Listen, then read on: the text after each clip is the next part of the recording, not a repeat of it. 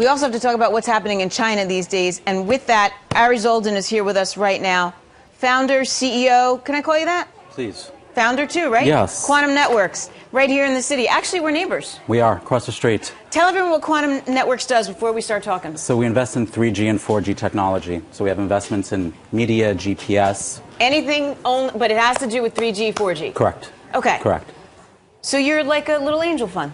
A teeny weeny little angel fund. Yeah, but we take everything in house. So we develop our own products, we market it, we push it out there. We have a big focus in the international arena also in Africa, in Asia, and the Far East. And then do you sell them when you're done with them? We do, Okay. yeah. Okay, so you're basically out there. You're like a little incubator, and right? Kind Correct, Of? yeah. Um, you're going out there. Where are you seeing? Where are you seeing the most opportunity these days? China. Why? China, their economy is just massive. I mean, you're talking about a $5 trillion G- GDP compared to the US, which is 14 trillion.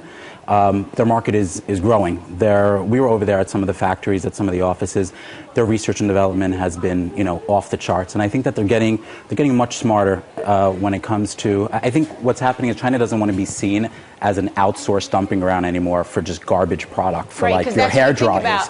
Exactly. The, you know, the lead paint that goes on my kids' toys that comes out of China. Made in China, made in China, yeah. And I think it really sucks. And I think America's really, really got to pick up their game and realize, like, hey, if we want to create jobs, we want to pick up this economy, we got to start focusing on buying in America and made in USA. Okay, but if China, I mean, it, you know, we heard numbers recently that China's growth is slowing. There's also always talk, and I'm the biggest skeptic, that the numbers are hard to believe. Mm-hmm.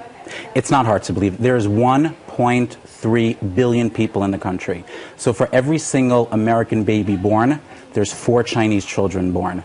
It takes approximately six business days to construct a 15-story building in China. So there is a What? mass there is yeah, there is a massive amount of labor out there and the Chinese are, are smart. They're dedicated, they're focused, and they're, they're now looking at America and they're saying they're saying, hey, like, we missed the boat on innovation. We missed the boat on marketing because we've been focusing the past 30 or 40 years on just producing crap. And now they're looking at us, they're looking at Apple, and they're looking at Google as an inspiration, and they're saying, hey, we could develop products like that, and we could also market it and bring it to market. So you're saying that they're actually coming up with the ideas as opposed to, you know, we outsource to Japan, you know, the piece that goes in the Correct. iPhone. Correct. Th- th- They're now actually realizing, like, hey, wait a second. How do I infuse sort of American innovation and American inspiration into our products right now? And the answer is is not developing a, a Me Too product line anymore or knocking crap off. It's actually going in there and looking at a vertical and looking at an opportunity and say, hey, let's go ahead and let's develop a full product line from beginning to end,